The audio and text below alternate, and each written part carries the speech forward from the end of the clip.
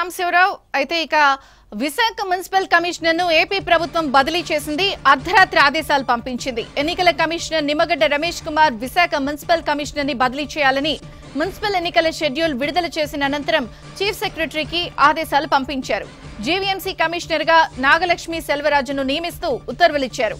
ఇప్పటికే రెండు రోజులుగా సెలవులో ఉన్న గుమ్మళ్ళ సృజన మరో నెల రోజులు సెలవు కోరారని తర్వాత ఈ పరిణామాలు జరిగినట్లు తెలుస్తోంది. యాక్టివ్గా పనిచేసే సృజన ఎన్నికల సమయంలో సెలవు కోరటంపై రకరకాల అనుమానాలు వస్తున్నాయి.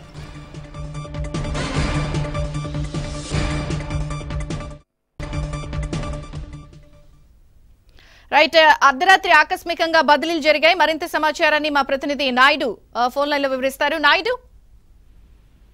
విజయ్ చంద్రిక గత రాత్రి విశాఖ జీవీఎంసీ కమిషనర్గా ఉన్నటువంటి సృజన అనే బదిలీ చేస్తూ ఉత్తర్వులు జారీ చేయడం జరిగింది. ఇప్పుడు ఏదైతే ఈపీసీఎల్ సిఎండి గా ఉన్నటువంటి నాగలక్ష్మి సెల్వరాజన్ని ప్రస్తుతానికి జీవీఎంసీ కమిషనర్గా నియమించడం జరిగింది. అయితే సీసీ ఆదేశాల మేరకే చీఫ్ సెక్రటరీ నిర్ణయం తీసుకున్నట్టు తెలుస్తుంది. అయితే ఈ ఎలక్షన్ నోటిఫికేషన్కు ముందే జీవీఎంసీ కమిషనర్గా ఉన్న సృజన రెండు రోజుల పాటు సెలవు పెట్టి వెళ్ళడం జరిగింది. అయితే అత్యవసరంగా ఆమె సెలవులో ఉన్న సమయంలో కూడా ఉత్తర్వులు ఇవ్వటం వెనక ప్రధానంగా ఏంటంటే జీవీఎంసీ పరిధిలో ఏదైతే ఎలక్షన్కి సంబంధించినటువంటి రిజర్వేషన్ల విషయంలో కొన్ని ఫిర్యాదులు ఎస్ఈసీకి వెళ్ళడం జరిగింది. దీనికి సంబంధించి ఇప్పటికే జీవీఎంసీ కమిషనర్కి అటు స్పెషల్ ఆఫీసర్గా ఉన్నటువంటి కలెక్టర్ కూడా ఎస్ఈసీ నోటిఫికేషన్ నోటీసులు కూడా జారీ చేసినట్టు మనకు తెలుస్తుంది. ప్రధానంగా ఏంటంటే కొన్ని రిజర్వేషన్లు రూల్ ఆఫ్ రిజర్వేషన్ విషయంలో కొంతవరకు నియమ నిబంధనలు పాటించలేదు. కొన్ని ప్రా- కొందరికి రిజర్వేషన్ కావాలని ఇచ్చాను. కొన్ని ఆరోపణలు అయితే చేయడం జరిగింది. ఈ నేపథ్యంలోనే ఈ నిర్ణయం తీసుకున్నారనేది ప్రధానంగా చర్చ జరుగుతుంది. అయితే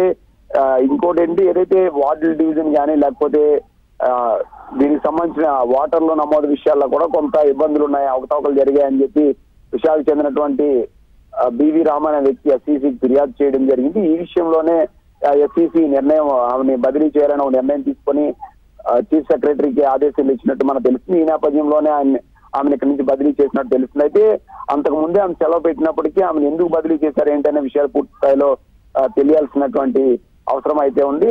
ప్రస్తుతం అయితే మాత్రం ఆమె సెలవులో ఉన్న దీనిపైన ఆమె కానీ ఎవరు ఇంతవరకు స్పందించిన దాఖలు అయితే మనకి లేవని చెప్పాలి Vijaya Chandrika. Thank you Naidu